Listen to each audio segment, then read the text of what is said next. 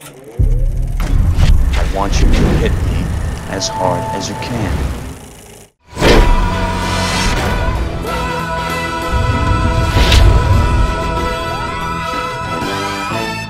Why'd you kill the woman? I wanted to, So why don't you kill me? in due time. Welcome back to Sylvester Stallone Revisited. So, picking things up in the year 1979, and after the mammoth success of Rocky II, Sylvester Stallone's star was solidified, and next he picked the 80s, yet feels like the 70s action thriller Nighthawks as his next project. So, why did he choose that film? Well, he said the material resonated with him, and that's good enough for me.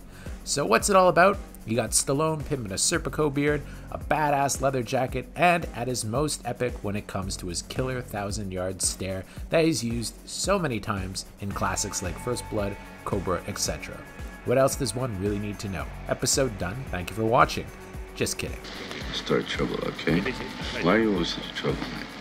Nighthawks is about two cops named Deke DaSilva and Matthew Fox, and no, not the guy from Lost. It's insane. It's impossible. and they're played by Sylvester Stallone and, of course, Billy Dee Williams, the coolest of the cool. I don't claim you can have a better time with Colt 45 than without it. But why take chances? And the two of them are on the hunt for Wulfgar, a bomb happy international terrorist played by the late and great Dutch actor Rutger Hauer in his first American role. So you got Stallone, Billy Dee, and Rutger Hauer. I mean, that is a trio not to be tangled with.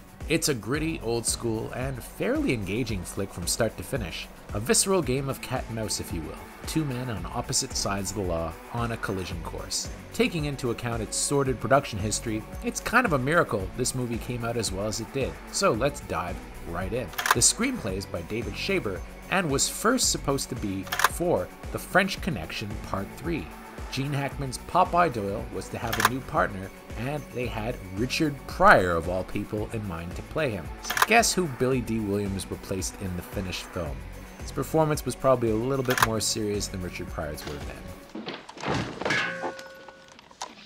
I'm gonna pay for every life you wasted on this shit, motherfucker! When Gene Hackman finally said no dice on going down Popeye Doyle Lane once again, that was all for that. All the best, love and kisses. So, Universal Pictures acquired the rights to the storyline, and the script was rewritten to shave off all the French Connection references. Production began under the rule of director Gary Nelson, who had done the Disney films Freaky Friday and Best Movie You Never Saw entry, The Black Hole. Yeah, I know, that's, that's kind of a weird choice for a down and dirty action thriller, isn't it? Well, suffice to say, Gary Nelson didn't last too long on the show. His ass was shit canned after just one week of production. Why? Nobody really knows. But they went with an even odder pick to replace him a very green director named Bruce Malmuth. Why would the studio bring in some dude with just one film under his belt? The 1975 film Foreplay and a comedy. This is just beyond me, but I have a theory. He was kind of a puppet director for Sylvester Stallone. This is something that Stallone has occasionally done in his career, where Stallone has directed a movie in all but the official credits. I think there's quite a few of his films in his filmography that you could say are technically Sylvester Stallone films, even though other credits are directed. There are so many moments in this film that have Stallone's fingerprints all over them in terms of his visual style, as seen in his later directorial efforts. The man was a megastar after the first two Rocky movies. Do you really think he was going to let Gary Nelson tell him what to do? Come on, badass.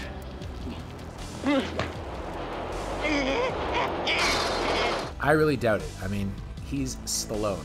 So here's a quote from Sly, which he said at the London Palladium in 2014 that kind of supports our hunch that the success of Rocky actually made him insufferable and that he thought he had authority on everything and admitted I abused my power badly. So I think unfortunately Gary Nelson may have been a victim of that power. So I might just be talking of my ass here, but I think I'm probably right. In fact, I think you can watch a whole lot of Stallone movies, including probably even The Last Rambo, Last Blood, and feel that it's kind of pure Sylvester Stallone, right?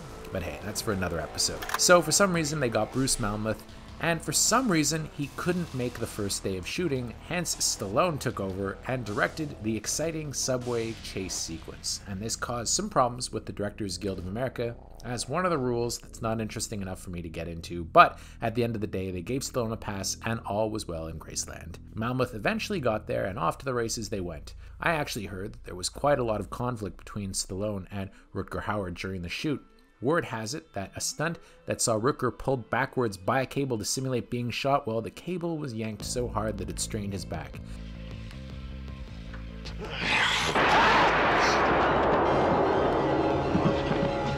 And when Rutger learned that it was Stallone that gave the work to have the cable pulled that hard, sporting my theory that Stallone may have been directing, the feud began. Gossip aside, Stallone addressed the film in a 1993 interview and took the time to give Rutger some well earned props. The film was a little bit ahead of its time in that it was dealing with urban terrorism. Now, with the World Trade Center, it's happening. At the time, people couldn't relate to it, and the studio didn't believe in it.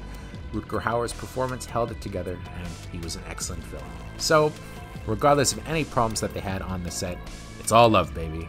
It's all love. And one aspect of the film that I particularly enjoyed was its thrilling action scenes and its tense practical stunts. I mean, there's an epic chase scene that starts at a nightclub where they're playing Rolling Stones' Brown Sugar and goes out through a construction site, and then they zoom through a subway tunnel and end on a freaking moving train car, and it's simply sublime. That is one hell of a well shot and slickly edited action set piece. Stunt wise, maybe it's because all I see is CGI these days, which diminishes the sense of danger, but nothing hits my spot like witnessing a real explosion in a film. They just pack so much more punch than that CGI shit.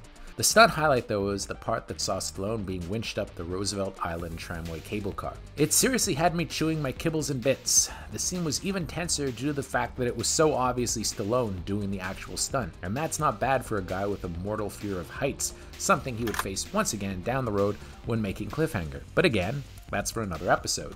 Stallone had this to say to Ain't It Cool News about his man dance with the cable car sequence. Hanging from the cable car was probably one of the most dangerous stunts I was asked to perform because it was untested, and I was asked to hold a folding Gerber knife in my hand so that if the cable were to snap and I survived the 230 foot fall into the East River with its ice cold 8 mile an hour current, I could potentially cut myself free from the harness because the cable, when stretched out, weighed more than 300 pounds. I tell you this because it's so stupid to believe that I would survive hitting the water, so to go even beyond that is absurd. I mean, Stallone, man, has got some balls. Gotta respect it because you wouldn't get me doing that stunt. After the shoot, post production kicked in and it echoed the filming in terms of chaos. The original cut of the movie was almost two and a half hours long, and loads of violence was cut out by the MPAA, and the studio shaved the film down to a lean 1 hour and 39 minutes, as they wanted a pretty fast paced film.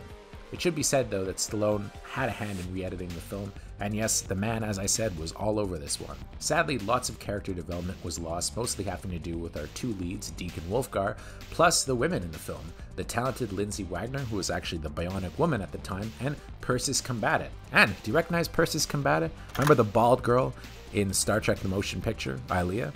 Yeah, that's Persis Khambatta with hair. She died a few years ago. I love Persis Khambatta in this movie. Wagner's role in particular, though, got axed in the cutting room, with her playing Deke's estranged lover, and it's diminished so badly that I think it actually really hurts the film. As it is, she's basically a cameo, they make a big deal about her character, but you see her once and then never again. It's a shame that there's not an uncut version of the film out there, because I'd love to tackle it. The wacky editing in the film is especially notable during the big climax where Stallone is pumping lead into Wulfgar, and the cutting is so strange because apparently the ending out taxi driver Scorsese in terms of being ultra violent. Yes, Stallone was having his taxi driver moment, and apparently it was a gory bloodbath. But alas, it's been lost to time. I know that a lot of DVD companies have tried to find the missing footage, but they never could. So, how is the final product? I think it plays remarkably well, but there are some elements of the film that are a touch dated and don't really work. For one thing, the Keith Emerson score is on and off. Sometimes it's really good and sometimes it's really bad, but I think the drastic recutting of the film did not help at all in this respect.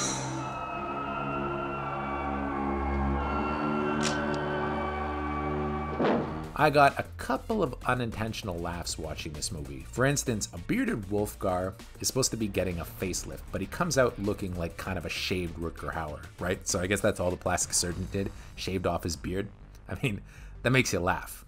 I also find it kind of funny the scenes where they're cutting back and forth between Wulfgar planning terrorist attacks and hitting New York and the cops sitting through what had to be one of the longest anti terrorist slideshows ever created by man. Try to stay with me, everybody. One that was filled with useless information at that. It went on for days and days and days, or so it seemed. Something to add, DaSilva? It means we can't catch him if we're sitting in here. Guys, there's a psycho out there blowing shit up. Get out of there. Go to work. Finally, to say the plot turns were predictable by today's standards would be a bit of an understatement. You can't help but see it all coming. On that, though, the film is pretty gripping from beginning to end. Stallone is at his most intense, and the chemistry he shares with Billy Dee Williams is simply excellent. You know when that bus gets to the airport, he's gonna waste you. Why are you always trying to cheer me up?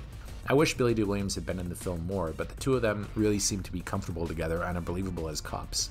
Many of the set pieces have been engraved in my feeble mind since I first saw the movie, and that's a pretty good sign. There's the cable car scene, the extended chase, and the nightclub scene, which, depending on the version you see, either has phony music that was replaced on home video or has a bunch of hit songs like Brown Sugar by the Rolling Stones. Back in the day, Universal didn't always lock down their music rights, so home video versions of the movies would often feature different soundtracks. Nighthawks was one of those films.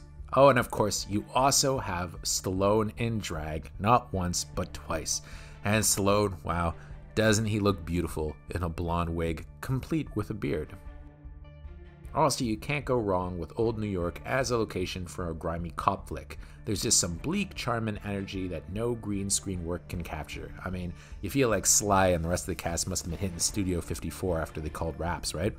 New York. Where else? Plus, there's all kinds of really cool character actors in this film, including Joe Spinell, who showed up in a lot of Stallone movies at the time, and Nigel Davenport as the British cop who's teaching them all about Wulfgar. If you see something kind of peculiar in Nigel Davenport's stare, it's the fact that he only had one eye. One of them was glass. Shaka. Overall, the film was a fairly modest financial success. It only cost $5 million to make, but it grossed $14.9 million in North America and another $5 million abroad. The critical reaction to this movie was actually pretty good. And what they're actually doing with the movie now is apparently remaking it as a limited series. Yes, we recently broke the story on JoBlo.com that, yes, indeed, they are making a Nighthawks limited series, eight episodes, and that Frank Grillo is going to be playing Deke DaSilva, and that Stallone would be directing all the episodes and would also be in it. Now, I don't know who he's playing. It'd be really cool if he played Wulfgar, but I don't think Stallone's going to go down that road. So, Nighthawks, in the end, gets about 7 out of 10 Stallones from yours truly, and I really recommend you give it a look. It's definitely one of Stallone's more obscure films, especially from that weird period between Rocky 2 and Rocky 3, where, you know, he was doing lots of strange movies like Playing Soccer in Victory. I really like this one. I think it's kind of a lost classic to some extent. So check it out. You could find it on Blu ray from Shout Factory in a pretty nice remaster. If you like Sylvester Stallone Revisited, make sure to click the bell to receive notifications for all of our latest videos. We're an independent company, and we appreciate all of your support. Get him! You wanna kill that son of a bitch? Get him! You're fucking dead! Kill that motherfucker! You're fucking dead!